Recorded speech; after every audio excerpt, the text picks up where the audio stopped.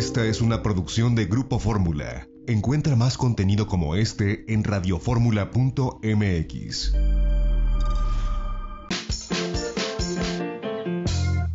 Bueno, ya estamos de regreso a las 9 con 45 minutos, ya en la recta final y vemos a Pati Ornelas, vemos a su invitado y ya tenemos que platicar de cine y de entretenimiento y de toda la industria. Mi querida Patti, te saludo y te doy la bienvenida. ¿Cómo te va? Buenos días. Queridísimo Jaime, muy buenos días. Buenos días a todos. Pues antes de arrancar con nuestro invitado, rápidamente le digo a la gente que hubo un poquitito de movimiento y de, confusión en las redes sociales en el tema de los aforos de los cines. Fíjate que esto involucra a todas las cadenas, Cinépolis, Cinemex, Cinedot, eh, Cinemagic, todas las cadenas que operan acá en la Ciudad de México. Fíjate lo que dice la, Gaceta Oficial de la Ciudad de México. Eh, los establecimientos comerciales pueden abrir con el aforo, horario y disposiciones aplicables a su permiso de funcionamiento.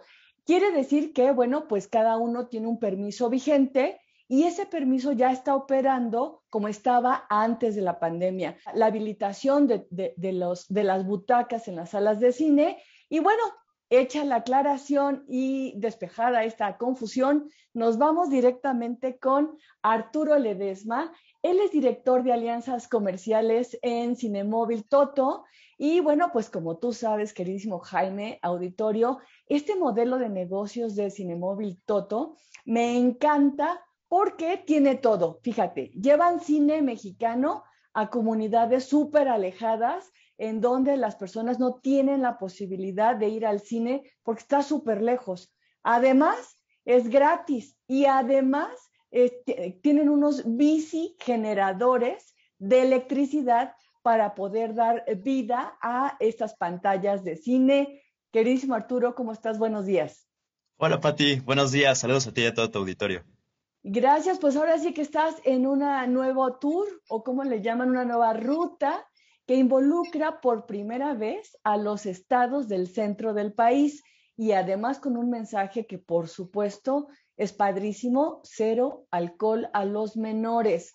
Es muy importante porque este tipo de, de proyecto que ustedes tienen, de negocio que ustedes tienen, pues llega justamente a comunidades en donde hay tan poquito entretenimiento que ir a, una cantina, ir a un lugar donde venden bebidas alcohólicas vendría siendo como algo eh, normal, ¿no? Entonces ustedes están haciendo un gran trabajo y labor social. Cuéntanos. Claro que sí, Pati. Como bien dices, estamos súper, súper contentos que es la primera vez que podemos tener oportunidad de abarcar la zona centro de la República Mexicana. De hecho, era la, única zona que nos hacía falta. Afortunadamente ya habíamos tenido una cobertura casi completa de la República Mexicana. Y sí, como bien dices, llegando a estas comunidades que están alejadas, que son un poco vulnerables y que no tienen oportunidad de acudir al cine, ¿no? Nosotros en estos ocho años de trayectoria hemos tenido oportunidad de visitar 600 comunidades diferentes pero bueno, tenemos ahí un dato muy importante que hay 40 millones de mexicanos que nunca han tenido oportunidad de ver cine, ¿no? Entonces, ahí tenemos una misión muy grande y como bien dices, con estos bicigeneradores que, que nos ayudan a llegar a estos lados, pues seguir contribuyendo para que más mexicanos eh, pues puedan vivir lo que es el séptimo arte. Oye, ¿y estas comunidades ustedes van calculando de cuántos habitantes tendrían que ser o qué tan lejos están? Mira, al final del día eh, sí abarcamos desde cabezas municipales, que sí hay bastantes habitantes, pero también hemos llegado a comunidades muy, muy pequeñas. Te doy un ejemplo. Por ejemplo, en el norte, que, hemos, también tuvimos participación en este primer semestre del año, pues hay algunas comunidades por ahí de Zacatecas, por ejemplo, que lamentablemente por la migración y por muchas cuestiones, pues ya son comunidades muy pequeñas. Te estoy hablando que son comunidades de 150 o 200 personas, ¿no? Y no porque sean comunidades pequeñas significa que no vamos a llegar. Al final del día, nosotros lo que queremos es promover el cine y que cuanta persona se nos cruce en nuestros recorridos tenga la oportunidad de vivir esta experiencia. Oye, y ahorita ya arrancaron esta nueva ruta desde agosto, pero termina hasta diciembre, ¿no? ¿Qué, ciudades faltan? ¿Qué películas van a llevar? Cuéntanos. Claro que sí. Eh, bueno, eh, ahorita justo terminamos el, el, estado de Querétaro. Tuvimos una aceptación increíble, nos fue muy bien. Estuvimos ahí en, en varias comunidades, en Huimilpan, Emiliano Zapata, Santiago de Querétaro, Peña de Bernal. Y bueno, ahorita lo que nos sigue es Hidalgo. Estamos comenzando justo esta semana Hidalgo. Después de ahí nos vamos a Morelos, Tlaxcala, Zacatecas, Jalisco, Sinaloa, Oaxaca, Yucatán. Y terminamos en Ciudad de México, que también era algo que nos pedían muchísimo. Si bien estamos en todos lados en Ciudad de México, tampoco habíamos tenido tanta presencia. Y bueno, también la gente aquí de Ciudad de México nos pedía este espacio justo, pues por lo mismo, ¿no? Quieren ir luego a lugares abiertos que pues en este tema de pandemias es un poco más seguro estar, se reduce el riesgo, además de que tenemos pues una amplia distancia entre, todas las personas, se permite al ser al aire libre. Y bueno, pues que, también se, salgan un poco de sus casas, que, tengan un momento de comunidad, de, de, esparcimiento y, y que la pasen bien. Oye, Hidalgo, Hidalgo ahorita con las inundaciones, a lo mejor les cambian la fecha porque ya viene otro huracán y bueno, pues ya ves que ha estado muy delicada la situación allá. Allá tienes, no solo, no vas a Tula, vas a otros pueblitos. Sí, sí, sí, vamos a 10 comunidades diferentes y justo, pues bueno, ahorita estamos viendo eh, en qué lugares sí podemos, en, qué lugares, como dices, por, por las condiciones ahorita de, eh, pues no se puede, pero eso, pues llegar a darle un poco de esperanza, de, de, sonrisas a estas personas que sabemos que no le están pasando mal, en que, que, le están pasando mal, perdón, en estos momentos.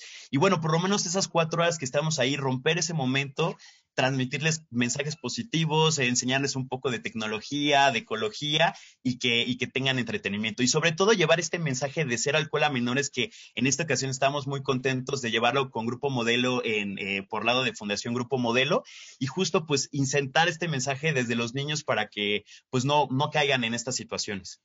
Qué padre, me da muchísimo gusto Arturo. Pues ahora sí que felicidades, qué bueno que este modelo de negocio sigue adelante. Son emprendedores mexicanos que se mueven por todo el país. Eh, muchas gracias Arturo Ledesma, él, es director de alianzas de Cinemóvil Toto. Muchas gracias. Gracias a ti, Pati, que tengas buen día. Gracias.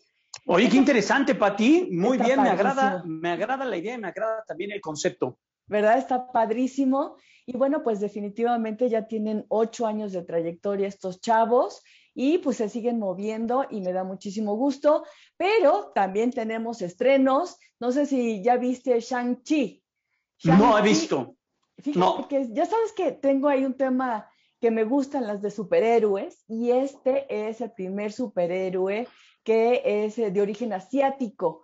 Y bueno, pues está, es de Marvel, es la película número 25 del universo cinematográfico de Marvel y está en todas las salas de cine. Le ha ido bastante bien a esta película, que evidentemente es Shang-Chi y eh, los 10 anillos, que los 10 anillos son armas. Y bueno, pues ya te imaginarás, hay guardianes de estos 10 anillos, y de repente esos guardianes se conocen porque van cambiando y se enamoran y tienen hijos y justamente Shang-Chi es hijo de estos guardianes y vamos a ver ahí una pelea con muchos efectos especiales, con muchas artes marciales de, para defender los 10 anillos y que el mundo siga en paz, queridísimo Jaime. Oye, y lo que, y lo que pasó el jueves, también bien importante, muy tempranito, conocimos los el tráiler, las primeras imágenes de Matrix, La Resurrección,